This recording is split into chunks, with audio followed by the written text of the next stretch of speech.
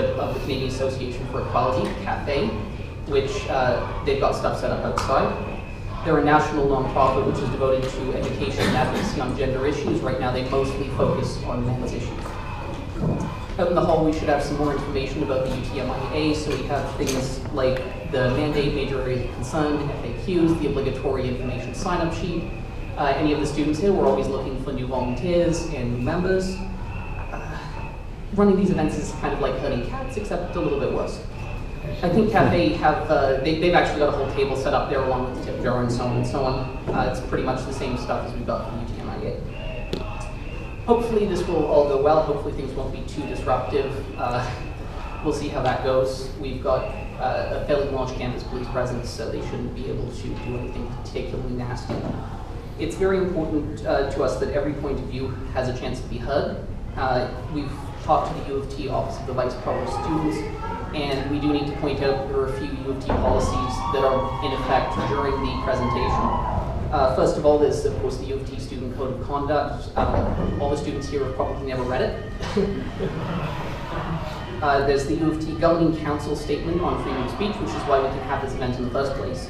And the U of T policy on the disruption of meetings. Anyone who was here for the last meeting got a really great demonstration of what that looks like uh, when everybody had to evacuate due to the fire alarm. Uh, finally, there's the U of T statement on prohibited discrimination and discriminatory harassment.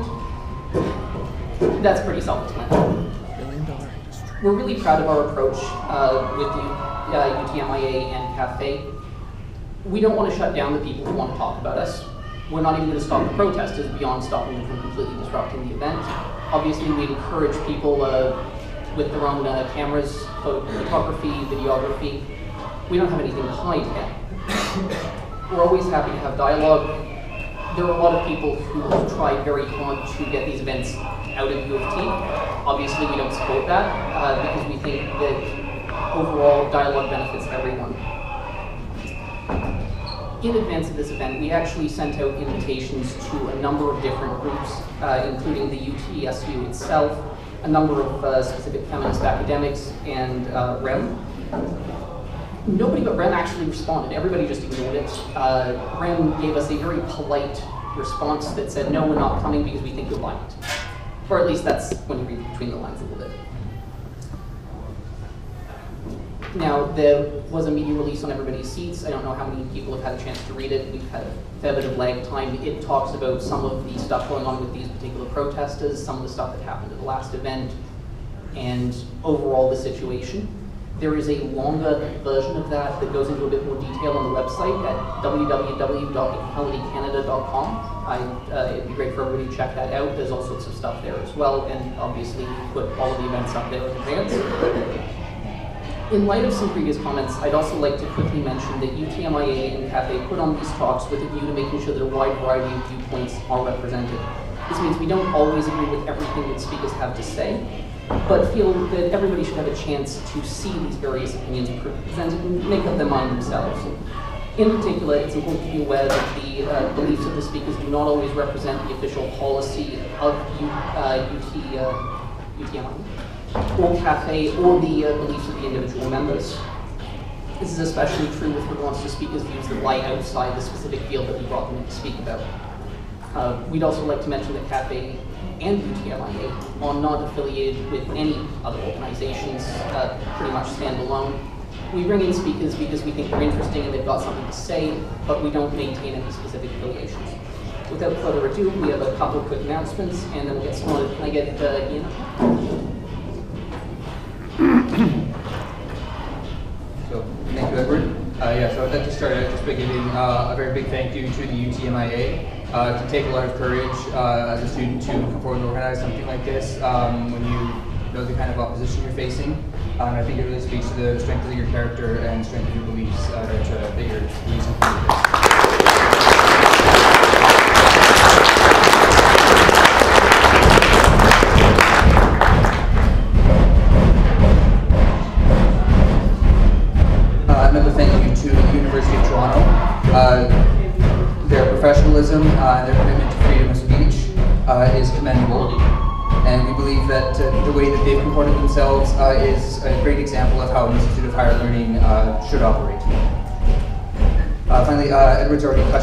about. Uh, we're an educational nonprofit. Our goal is to raise awareness of underrepresented gender issues. Uh, we've been around for about a year, about two years, uh, active for about a year and a half. Uh, and really, uh, our organization can't exist uh, without your support. So please, if you do like what you see, if you'd like to see more events like this, uh, please do go to our website uh, and join Cafe. Uh, it's $60 for a year-long membership, uh, 100 for a two-year membership, and we also have a low-income or student membership for $20. Uh, so please uh, do go in and do that. Uh, that, along with donations at these events, uh, are really what allow these things to happen. So without further ado, I'll hand it back to Edward, and we'll get the talk started. Thank you. Okay, now, everybody The horse is probably knows who our two speakers here are, but I'm going to introduce them again. On the right, on your left, is Paul Nathanson, and on your right is Katherine Young. They've both done a lot of work on the subject of misandry, and they've published several books on the subject.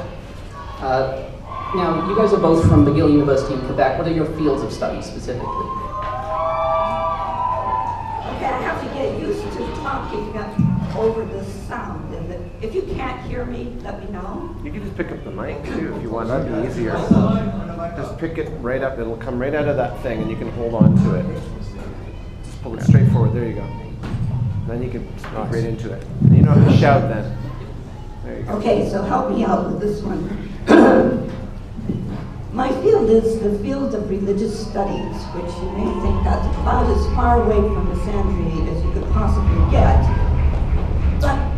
There's a link here because as I started to study other cultures, and my major field is India, I had to learn techniques such as empathy. How do you get to understand another group? How do you cross cultures? How do you communicate? And once you learn that through experience of other cultures, it becomes very similar to think about communication between men and women. We have many similarities and also many differences.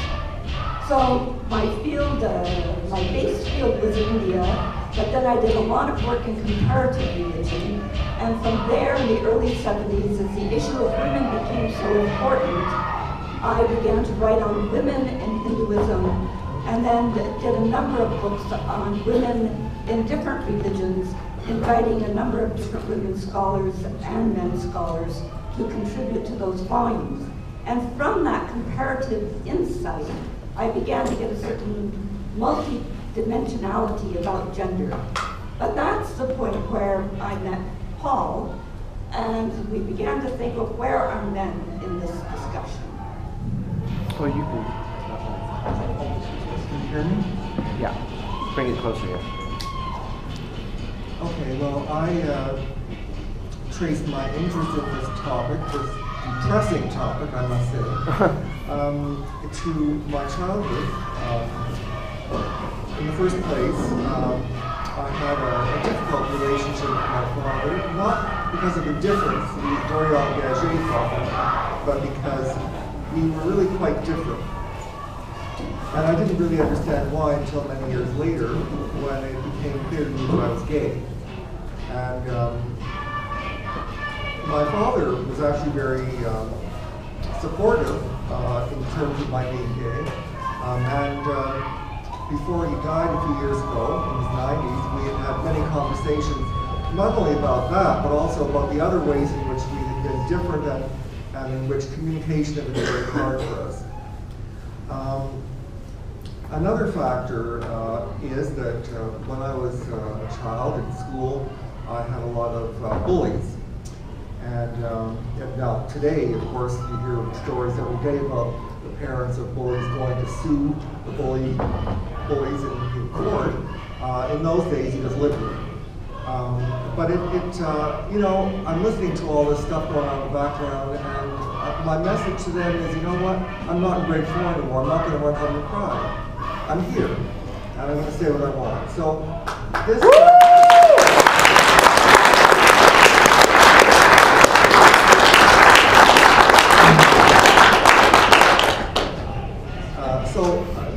Taught me something. Um, but the reason, I, another reason I mentioned the boys is because, um, uh, you know, once again I had to ask myself, what it meant to be a man. I didn't know from my father exactly what it meant to be a man. He was, um, compared to my mother, I would say that he was somewhat unhappy because although he was um, an engineer and he built houses and we weren't rich, but he was reasonably successful at that. But he was not happy because he would have preferred infinitely to be to be a researcher, and he became uh, a builder mainly because he had uh, a wife and a family to support. Um, and um, so, uh, you know, the bullies were telling me that I was no good as a boy. And by the way, I should add uh, that the bullies were both boys and girls. I, I was not aware of any difference in what they said or did. Um, so then, um, you know, this will tell you something about my age. Um, I was uh, about in my 20s um, when I went to Columbia uh, to study art history. Um, and that was in 68. And that was the height of the Vietnam War. And so suddenly I was confronted with the direct possibility of being drafted for combat. And um, I discussed that with a number of the other boys at, at uh, Columbia. And I noticed a very interesting reaction. I mean, they were clearly uncomfortable. They certainly had no intention of going to Vietnam. Most of them, or all of them, had student deferments. This was before they established a lottery to discover who was going to go. Um, but they were uncomfortable about talking about the specific thing that bothered me. Because I was less interested at that point To get those in the Hawks and the Doves, the Geneva Convention, the Paris Accords, and what have you. I was interested in what manhood had to do with being a soldier. And that was something that was kind of off bounds. They weren't going to discuss that. That, that was a, they considered that a threatening topic. Um, and so I, I just went back home. I didn't get my degree. I, I came back to Canada. And um, 10 years later, on the 10th anniversary of Vietnam, uh, suddenly it was all over the news again. And, um, and by that time, I had the emotional and intellectual resources to, uh, to, to try and figure out on my own what this was all about and what it meant to be a man. Um, and so that's approximately when I met Katherine, and uh, we went to visit together. Now, how has your research on misandry related to some of the other research you've done?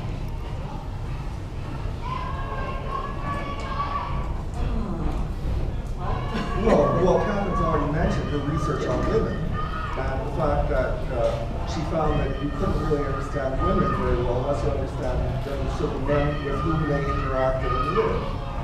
Um, for me, um, I was in religious studies and my interest was in popular culture, uh, specifically the ways in which popular culture interacts, or in which secularity, including popular culture, interacts with religion.